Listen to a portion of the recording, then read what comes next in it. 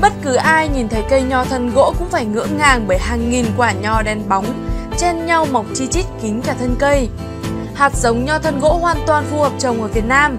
Cây cho trái quanh năm, tạo dáng bonsai đẹp mê mẩn, có sức hút mạnh mẽ đối với những người thích chơi cây cảnh. Nho thân gỗ có tên khoa học là Jabuticaba, là giống cây quý hiếm có nguồn gốc từ Brazil. Hiện giống cây này đang là một trong những loại cây ăn quả có giá trị cực kỳ cao.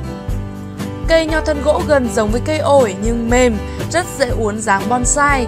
Những quả nho đen bóng chi chít dày đặc trên thân cây khiến chậu nho thân gỗ bonsai mang vẻ đẹp đặc biệt và không một loài cây nào có được.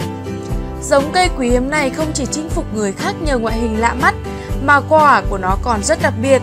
Quả to, tròn, bên ngoài là lớp vỏ màu tím sậm hoặc đen, dày như vỏ mận, bên trong là lớp thịt trắng tươi, thơm mùi rượu vang hòa quyện với mùi ổi, vị ngọt ngọt chua chua, rất lạ miệng khiến ai cũng phải phát thèm.